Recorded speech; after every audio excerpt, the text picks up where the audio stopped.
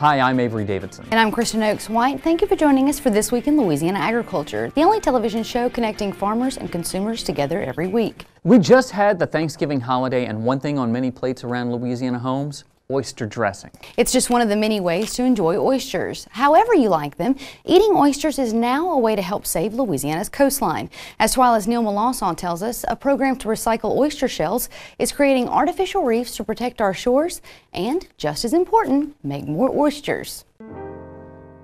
Now won't you come along with me down the Mississippi? If you know New Orleans restaurants, you can't walk past the sign and not think about charbroiled oysters. Drago's is just one of the many restaurants serving oysters in a variety of ways in the city. Two years ago, the Coalition to Restore Coastal Louisiana, or CRCL, started working with these restaurants to help ensure they have a steady supply of these foodie favorites now and in the future. An oyster shell recycling program is taking the discarded shells from here to here, an artificial reef built with these shells. This is the first of many planned reefs made from the more than 5 million tons of oyster shells collected since 2014. Here in 2016, this half mile barrier is the result of a lot of happy times in the Crescent City. So, literally, thousands of people contributed to this reef. This is the shell that went from New Orleans restaurants and otherwise would have gone to landfills now it's protecting our coast. Now, of course, the oyster beds are why we're out here today, but really it's this that they're designed to protect. This marshland that's so sensitive to changes in sea rise and salinity and that sort of thing. So uh, going forward in the future, it's not just oysters they're protecting, it's the entire coast. The reefs may seem like they're just blocks of shells, but they're actually designed to accomplish a number of purposes at once. This area is experiencing a lot of coastal land loss.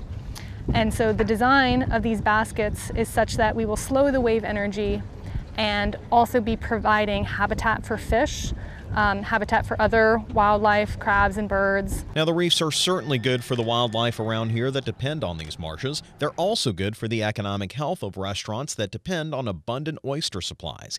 Even more so, they're vital for oyster fishermen who have seen oyster reefs decline worldwide by about 85%, that according to the Nature Conservancy. Their coastal program director says it's not just for those things, but a priceless aspect of Louisiana culture dating back centuries.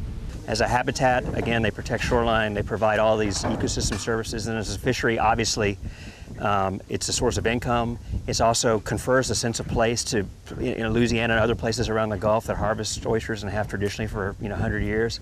This half-mile reef we saw is one of several planned reefs by the CRCL with the tons of oyster shells they've collected over the last two years. Still, this is a drop in the bucket of all the coastline that needs to be protected because of the many inlets and waterways along Louisiana's coast. That's why it's so important to support this recycling program to keep those shells coming. So eat up.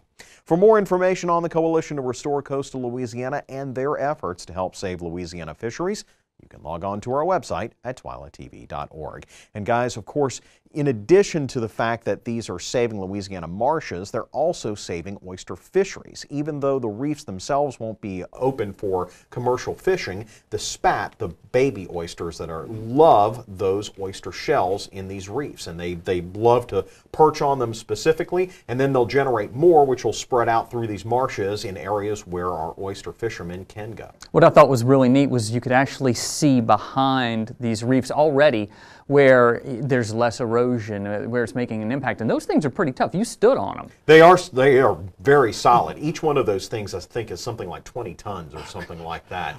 And the real thing is, when you're standing on it, the wave action is different on one side than the other. It really does. The, the water on the marsh side is very calm. Fascinating story. Neil Melancon.